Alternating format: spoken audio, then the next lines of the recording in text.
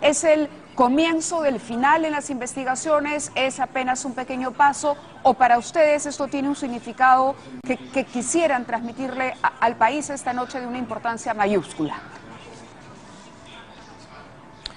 Bueno, en principio, Mávila, doctor Guillén, se trata del primer acuerdo de colaboración eficaz que se celebra en el Perú eh, de una persona jurídica de carácter corporativo en el que se están integrando una serie de delaciones producto del trabajo que se viene realizando dentro de las averiguaciones en las distintas investigaciones.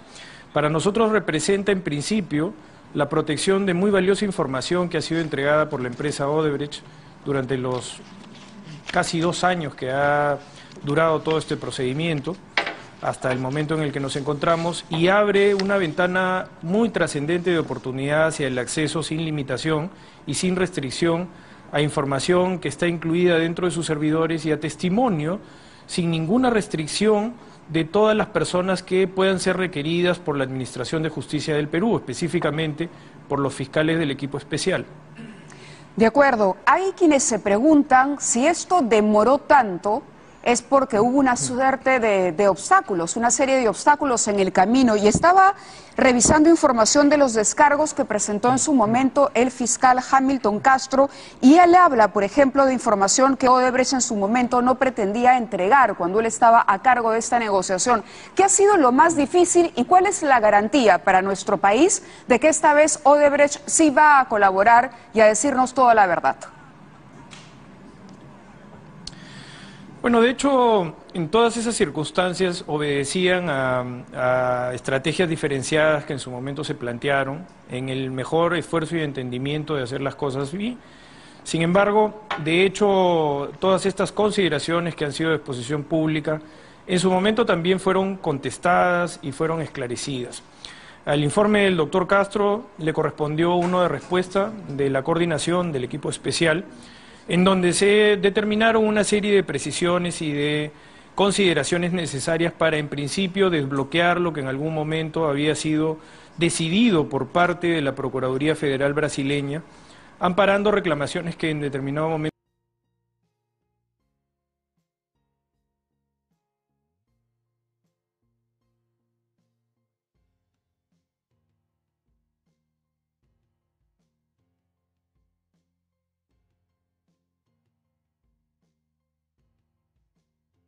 Sí. Sí, bueno, de hecho existían una serie de, eh, observaciones respecto a las negociaciones que se venían dando en el, contexto del desarrollo de las actividades del antiguo equipo, del anterior equipo especial. Esto fue eh, puesto en conocimiento de la justicia brasileña.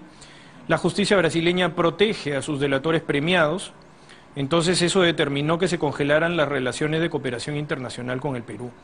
Cuando nosotros asumimos, eh, emprendimos una tarea en principio de, poder lograr el restablecimiento de esta relación, de poder restaurar y restituir todo lo que estaba pendiente dentro del sistema de cooperación internacional. Y luego de ello hemos venido en un proceso de permanente colaboración y apoyo también, porque no hay que olvidar que hemos realizado dos viajes previos, tanto en el mes de septiembre como en el mes de octubre, para tomar importantes y valiosas declaraciones de ejecutivos de la empresa. A partir de esa situación hemos tenido dificultades también de carácter interno, de política interna institucional, que son de público conocimiento, que a partir de haber sido superadas y haber en este momento contado con todo el respaldo institucional que correspondería a un caso de esta envergadura, nos permite ya eh, finalmente llegar a la finalización de nuestro trabajo, entendemos desde nuestra perspectiva, de una manera satisfactoria. De acuerdo. Doctora Belino Guillén está con nosotros. Quisiera participar en la conversación, eh, hacerle una pregunta directamente a los fiscales que están a cargo del equipo especial. Usted que tiene conocimiento mucho más preciso y jurídico de estos temas. No solamente saludar el trabajo del equipo especial, es un trabajo muy valioso y a pesar de todos los inconvenientes que fueron objeto ellos en el desarrollo de su trabajo, han logrado superar esto y ha culminado con éxito esta, este acuerdo final con la empresa Odebrecht. Yo Realmente me siento orgulloso del trabajo del equipo especial que lidera el doctor Vela y lo único que me queda es alentarlos a que continúen trabajando al servicio del país. La ciudadanía lo respalda y reconoce lo valioso de su trabajo. La, la, pregunta que nos hacemos todos, doctor, y en esto voy a insistir, doctor Vela, es ¿cómo hacemos para que Odebrecht cumpla? Es decir, ¿qué garantías tiene este acuerdo? Que nos permite tener confianza en el futuro, porque es un acuerdo que va a marcar el inicio de una serie de investigaciones, algunas en curso, pero que otras posiblemente se van a abrir de la información que ustedes obtengan. Si Odebrecht antes dio información a medias o a cuentagotas, ¿qué mecanismos dentro del acuerdo protegen al Perú de esa garantía de verdad que debe ofrecer la empresa? Bien, en principio hay una circunstancia objetiva en el desarrollo de, todas estas eh, actividades que demuestran la voluntad de la empresa de haber venido colaborando durante todo este tiempo. La empresa ha presentado valiosa e importante información, lo ha continuado haciendo durante todo el transcurso de estos últimos meses, pese a la turbulencia interna que, por la que transitábamos. No obstante ello, siempre la empresa se mantuvo entregando información, tratando de poder participar activamente dentro del desarrollo de las investigaciones y ahora se ha, incorporado dentro ya de un protocolo escrito, dentro de una negociación finalizada, una serie de obligaciones que la empresa ha asumido voluntariamente para colaborar con todos los requerimientos que la justicia demanda desde el Perú.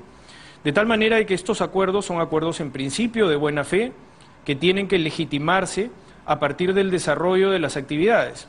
Ahora, el acuerdo también encuentra mecanismos de protección desde la perspectiva de las obligaciones asumidas por la empresa. Si las obligaciones no son cumplidas, como en cualquier acuerdo de esta naturaleza, existen consecuencias que buscarían la posibilidad de incluso revocar estos beneficios. Sin duda alguna, la empresa, desde la perspectiva de lo que finalmente termina resolviendo, es la principal interesada en mantener la vigencia de este acuerdo. Y para eso tenemos el compromiso de que efectivamente va a cumplir con todas sus obligaciones. De hecho, lo viene haciendo. El día de ayer, por ejemplo, se han llevado a cabo ya diligencias en la ciudad de Río de Janeiro. El día lunes a viernes vamos a tener una serie de importantes declaraciones que se van a realizar en la ciudad de Curitiba. Y luego de eso, existe ya la programación también de la declaración del señor Jorge Barata, durante el mes de marzo, eso en paralelo se va relacionando con el acceso sin restricción alguna a los sistemas Drowsy y MyWebDay. Este hecho en particular demuestra no solamente una voluntad que está trasuntada en todos estos acontecimientos que le he descrito, sino también en la obligación avalada por la Procuraduría Federal de Curitiba, por en general lo que significa la Fuerza de Tareas Lavajato en Brasil, avalada para poder tener un acceso sin limitación alguna a todos estos sistemas. De tal manera que eso va a venir correlacionado y acompañado de los testimonios de los ejecutivos. Si eso no se cumple, no solamente hay una consecuencia relacionada con los acuerdos vinculados al Perú, sino que no hay que olvidar que así como la justicia brasileña protege a sus delatores premiados, es muy estricta en el cumplimiento de las obligaciones que tienen que tener los delatores dentro de Brasil. Y una de las obligaciones en el Brasil es que tienen que colaborar con los sistemas de administración de justicia con los cuales han llegado acuerdos de esta naturaleza, acuerdos como el que se ha suscrito el día de hoy. De acuerdo, todos los colaboradores eficaces que han firmado el acuerdo, ¿cuántos ¿cuántas son en total las personas que han firmado este acuerdo de colaboración? Bueno, son cuatro colaboradores, eh, sobre la única persona que se puede hacer una referencia directa es la del señor Jorge Barata, porque hay un levantamiento del reserva de, su identidad, en el caso del resto no podemos identificarlos. Adicionalmente también los representantes legales de la empresa Odebrecht, porque también se trata, como bien hizo usted referencia, del primer acuerdo de carácter corporativo, es decir, la empresa también está asumiendo la culpabilidad correspondiente y está llegando a una serie de obligaciones también correspondientes a la culpabilidad. Es decir, en otras palabras, el pago de una reparación civil. Claro, vamos a tener... en ese sentido, Por favor, las personas que han suscrito son las legitimadas para poderlo hacer. De acuerdo, sí, más adelante vamos a hablar con el procurador Jorge Ramírez sobre el tema de la reparación civil. Ahora, en el caso de los proyectos, cuatro son los proyectos en los que se ha reconocido el pago de sobornos. Leía también los descargos y perdone que haga la referencia, pero Hamilton Castro decía que se había aceptado en un principio seis. ¿Por qué se redujo? Ese es otro de los cuestionamientos que se hace al acuerdo que hoy se considera, según los críticos, muy concesivo para Odebrecht, que se, habría, se le habría hecho muy fácil a la empresa y que ahí radicaría el mayor cuestionamiento. ¿Es un acuerdo que usted considere concesivo? Me imagino que me va a decir que no. ¿Por qué? ¿Y por qué los cuatro proyectos solamente si podemos presumir que Odebrecht no participó únicamente o pagó sobornos en cuatro obras por la cantidad de proyectos que ejecutó en el Perú? Bueno, lo que pasa es que los acuerdos de, esta naturaleza son acuerdos de culpabilidad. Y para establecer una precisión con relación a lo que pueda haber en su momento descargado el doctor Hamilton Castro, tendríamos que hacer referencia específicamente al informe que presentamos dentro de la coordinación para discutir y rebatir cada uno de los argumentos del señor Castro. De acuerdo. Pero creo que lo importante y lo trascendente es que para nada ha sido un acuerdo dentro de, de circunstancias no complejas. En principio, no hay que olvidar que este acuerdo se inicia con el señor Castro y está concluyendo poco más después de dos años. Es decir, han existido dos años dentro de los cuales han existido momentos complejos, momentos en los que se ha interrumpido la relación de cooperación, momentos en los que hemos tenido también una crisis institucional interna dentro del Ministerio Público, y a pesar de todas esas circunstancias, hemos estado, creo yo, por encima de todas esas diferencias y hemos tratado de llegar a un acuerdo que, heredando incluso esas dificultades, termina siendo, desde nuestro punto de vista, un acuerdo equilibrado, un acuerdo que pondera no solamente la entrega de información durante los últimos dos años de la empresa Odebrecht, sino también que nos proyecta hacia el futuro de una manera absolutamente importante para obtener toda la evidencia que en su momento se incluye dentro de sus servidores encriptados. De tal manera que ese acceso permite que los fiscales puedan encontrar muy valiosa información que incluso pueda proyectar nuevas líneas de investigación.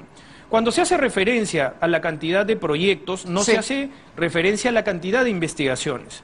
Hay que distinguir entre lo que son los proyectos con la cantidad de investigaciones que han sido generadas a partir de la información entregada por la empresa. Y en ese contexto hay una serie de investigaciones que son conexas a los proyectos. Se habla, por ejemplo, y se discute mucho del tema arbitrajes. El tema arbitrajes es parte también de los acuerdos de delación y forma parte también de las obligaciones que han sido materia incluso ya de programaciones que se van a llevar a cabo en estos días en las diferentes diligencias que estamos llevando a cabo como equipo especial. De acuerdo. Son cuatro proyectos, estamos hablando del Metro de Lima, la Interoceánica Norte y Sur, y me queda uno, que es el del Cusco. La vía evitamiento Cusco y la vía evitamiento del Callao. Del Callao, de acuerdo. El gasoducto no entró, ¿por algún motivo en particular?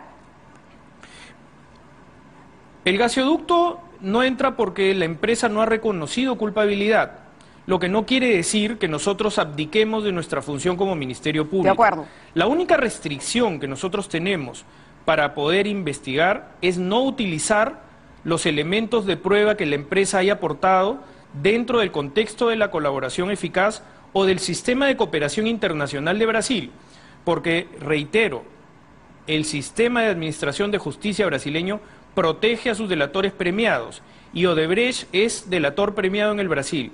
De tal manera que la única restricción que tenemos es que no podemos utilizar la prueba que nos ha sido entregada en contra de la empresa. Si nosotros somos capaces de estructurar una investigación por nuestros propios medios, es decir, por la propia actividad investigativa de los fiscales, no existe ninguna restricción para poderlo hacer. Y en ese caso, la justicia brasileña también respalda escrupulosamente la actividad de los fiscales si es que eventualmente se considera evidencia que conduzca a una investigación, no obstante que la empresa no se haya declarado culpable.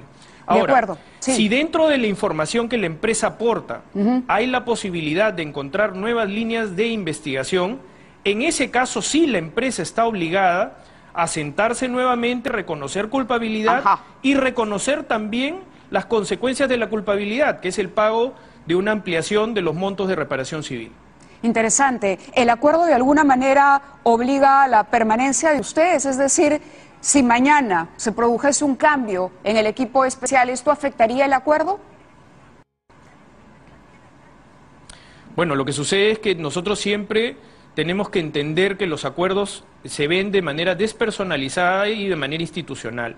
Por esa razón es que es tan valioso el momento actual en el que ejercemos nuestras actividades, que contamos con el pleno apoyo y respaldo de la institución, hecho concreto y objetivo que antes no sucedía. De acuerdo. Ahora contamos con el respaldo de la institución a través de, las directivas eh, que, que, en permanente contacto de coordinación nos encontramos siempre realizando con la señora fiscal de la Nación, la señora doctora Zoraida Ábalos. Bien, me gustaría poder hacerle un par de preguntas al doctor José Domingo Pérez, que lo está acompañando también, sobre el tema de los casos que él está viendo directamente. El caso, por ejemplo, del financiamiento de las campañas. ¿De qué manera este acuerdo va a contribuir? Porque uno entendería que básicamente se va a hablar aquí de sobornos, de proyectos, de contratos. Pero ¿de qué manera los casos que tienen que ver con el financiamiento de las campañas electorales y los la presunción de lavado de activos de este dinero de origen supuestamente ilícito se va a beneficiar luego de la firma de este amplio documento de más de 1.050 páginas que se ha suscrito hoy. Doctor José Domingo, ¿nos escucha? Eh, buenas noches. Muy buenas noches. Sí, buenas noches.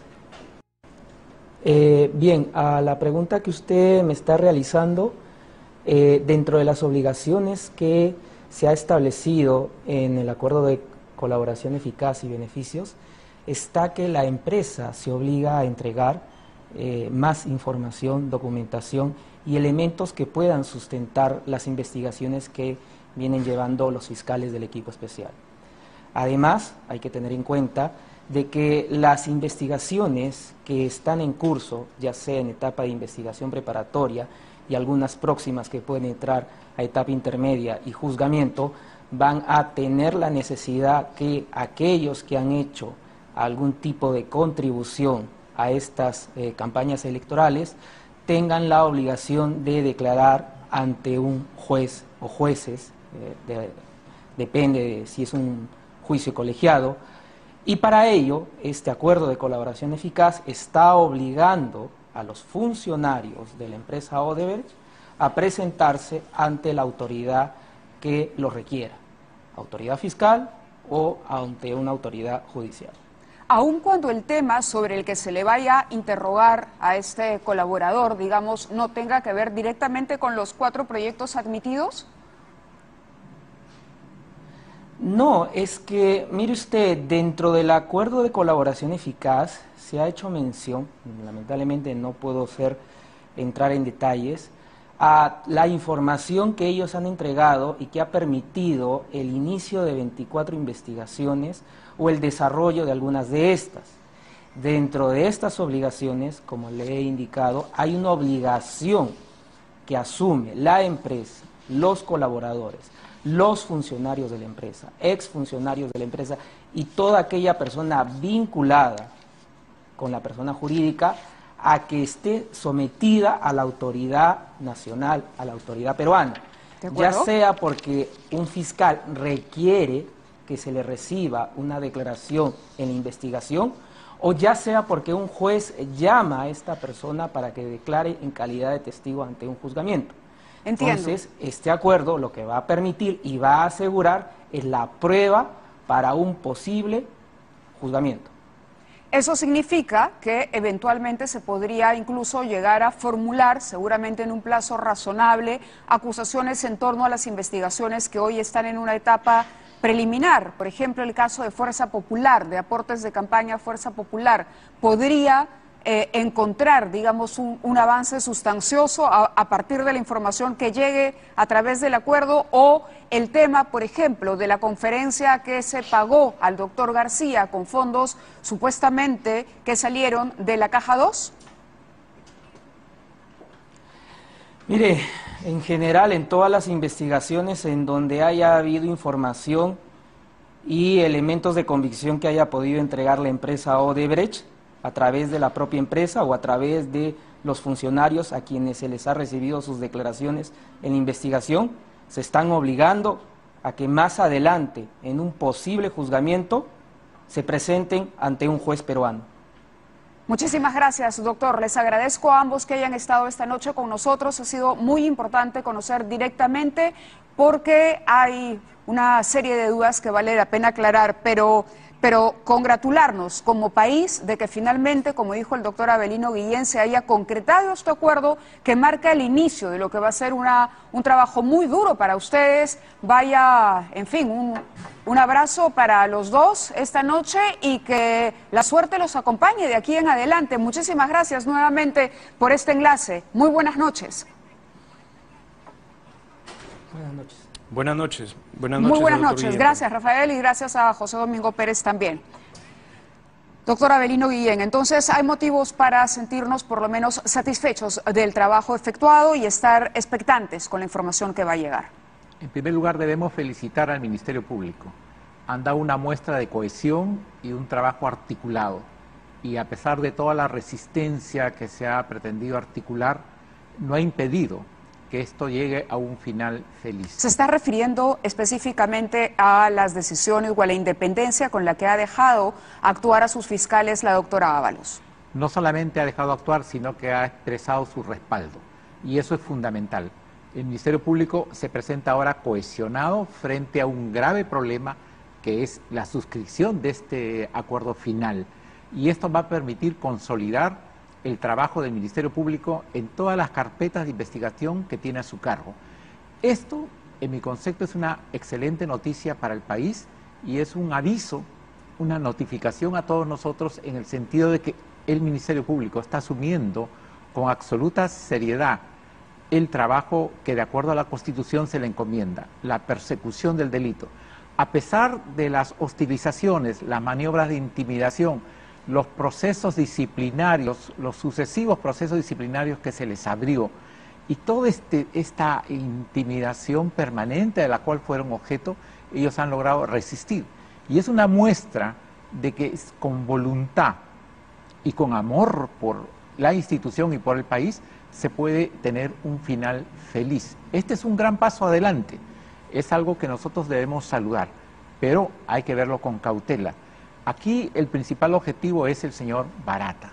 Barata es una persona muy sagaz, muy astuta y seguramente va a tratar de guardar parte de la información. Esa es la estrategia siempre de un colaborador, quedarse con una parte de la información. Depende de cómo se formule las preguntas, el interrogatorio, porque ahora sí, el señor Barata no tiene ninguna excusa para regatear la verdad, para pretender ocultar, para pretender engañarnos. Ahora tiene que decir todo, porque en este acuerdo la empresa Odebrecht firma y participa activamente. Y en consecuencia, no solamente los cuatro colaboradores eficaces este, están obligados, sino los 77 ejecutivos a brindar toda la información y toda la colaboración y Odebrecht tiene que entregar todo el material probatorio. Cuando hacía mención a la importancia del testimonio de Barata, se refiere, por ejemplo, a los casos en el metro de Lima cuando él decía algo y luego se conocía a partir de Andorra o revelaciones que hacía el diario El País, información que nos llevaba a volver sobre el tema y a decir, ¿y por qué Barata no contó desde el principio que los sobornos no eran tantos, sino el doble o el triple? Claro, porque eh, si usted recuerda lo, lo del tren va incrementándose el monto del Exacto, es un caso particular sobre el que se ha notado esa, esa, a ver, esa poca voluntad y a, al final, priori de decirlo todo, ¿no? Hay un salto mortal de 14 a 24 millones de dólares. Esa diferencia tiene que explicar el señor Barata. ¿A quién se le dio y por qué? Entonces, ahí no hay forma. Y eso va a depender mucho de la forma como los fiscales formulen su interrogatorio y en tal sentido, del 12 al 14 de marzo es una, fecha muy importante y la Fiscalía tiene que prepararse adecuadamente. Aquí lo fundamental es que usted le demuestre al colaborador que usted conoce el tema. Y eso es fundamental para desarticular organizaciones delictivas. En el caso de Fujimori y Montesinos fue fundamental el aporte de los colaboradores eficaces. Varios de los integrantes del destacamento Colina se acogieron a la colaboración eficaz y brindaron información de primera mano. Y no solamente eso, entregaron documentación y pruebas que permitieron conocer el funcionamiento y la estructura del destacamento Colina. Y por eso que se logró sentencias condenatorias. Esto es igual. Obviamente el caso de es mucho más grande, es mucho más complejo, pero acá tenemos ya la ¿La Fiscalía debería fortalecer el equipo especial hoy que ya tenemos el acuerdo? Claro, porque eh, este es un acuerdo abierto. Cualquier eh, hecho nuevo, usted puede abrir nuevas líneas de investigación.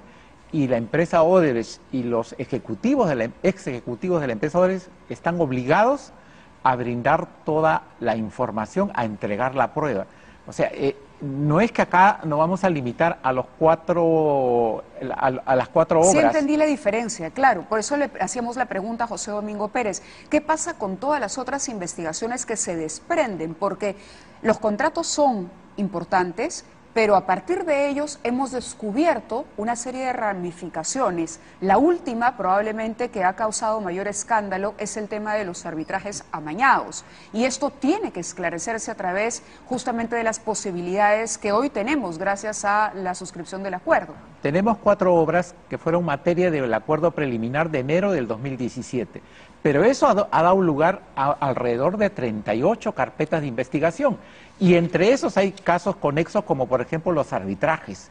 Hay, inclusive el tema del, gaseoducto también, se está, investigando. Y en consecuencia los fiscales peruanos también pueden interrogar sobre eso y lo tienen que hacer. Y lo fundamental de este acuerdo final es que va a permitir consolidar la posición del Ministerio Público peruano con miras a lo que se avecina, lo que se viene.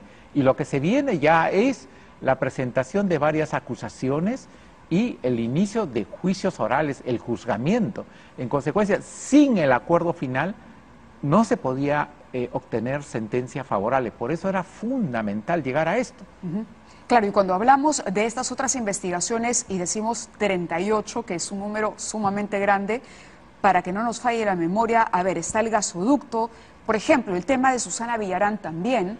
Claro, el dinero que se pagó para la campaña de la no revocatoria también entraría ahí. Todos los temas de financiamiento de campaña. Todos los aportes de la campaña, eh, el tema, eh, todas las investigaciones que se vienen llevando adelante por parte de los fiscales peruanos. Las conferencias del doctor García. Conferencias, hay una serie de casos que se vienen investigando. En tal sentido, eh, esto y además pueden eh, descubrirse nuevos hechos. Por ejemplo, el caso de la señora Lourdes Flores Nano, es un tema nuevo. El caso de los estudios jurídicos que trabajaron junto con la El caso de Lourdes Flores Nano, del, financiamiento, también entra. ¿Y el Club de la Construcción de qué manera, por ejemplo, este acuerdo puede Hay una vinculación porque Odebrecht, porque era parte. Era parte y participa junto con empresas brasileñas como OAS, por ejemplo.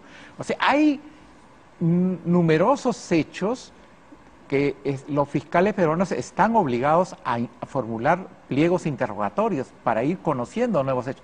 Los cuatro, las cuatro obras es el punto de inicio, pero eso da lugar a que la Fiscalía, además, por mandato de la Constitución, el Ministerio Público está obligado a investigar los delitos y eso es irrenunciable, eso no puede ser objeto de una negociación. En consecuencia, eso lo sabe bien la empresa Odebrecht porque tiene sus equipos de abogados. En consecuencia, ellos saben muy bien que la Fiscalía va a iniciar nuevas investigaciones.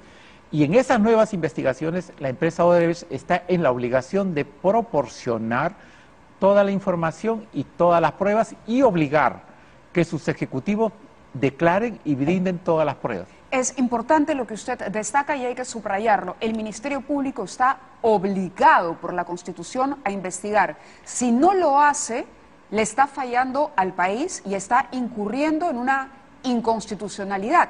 Claro, porque la Constitución le encomienda, a la única institución que le encomienda la investigación de delitos de es a la Fiscalía. Es a la Fiscalía. La Fiscalía lidera el combate contra el crimen. Claro, ahí sí procedería, por ejemplo, una denuncia constitucional por parte del Parlamento si es que los fiscales no cumpliesen con la investigación a cabalidad. Yo estoy convencido que lo van a hacer existe ese compromiso y además ya Por ejemplo, en el caso de Ancash, los fiscales han conseguido ahí avances importantes, inclusive Odebrecht ha reconocido su responsabilidad y hay un acuerdo donde ellos reconocen el pago de reparación civil por 65 millones de soles más, que se tiene que incrementar al monto que se ha acordado.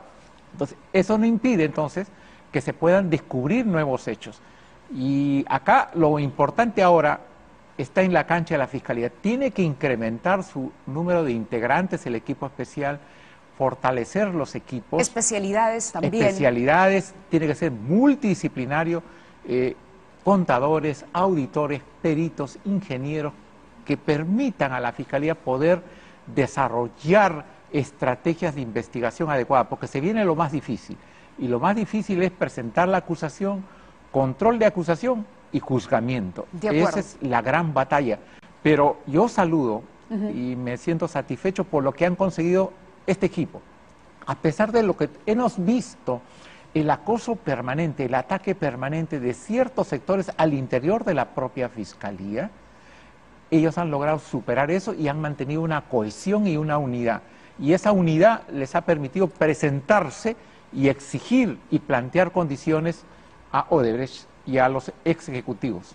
De acuerdo, eh, fiscal. Muchísimas gracias, doctor Abelino Guillén, por haber estado con nosotros. Nosotros hacemos aquí en el programa una pausa, pero vamos a regresar con el procurador ad hoc, justamente para el caso Odebrecht, el caso Lavallato, Jorge Ramírez, para hablar un poco sobre el tema de la reparación, la famosa reparación. ¿Cuánto pagará Odebrecht finalmente al Estado peruano? En cuotas, con intereses, los arbitrajes todavía que se vienen desarrollando van a mantenerse o van a anularse a partir de la firma de este documento. Sobre eso hablaremos tanto con Jorge Ramírez en Brasil como con el ex procurador Iván Montoya, quien estará aquí en nuestros estudios. Regresamos.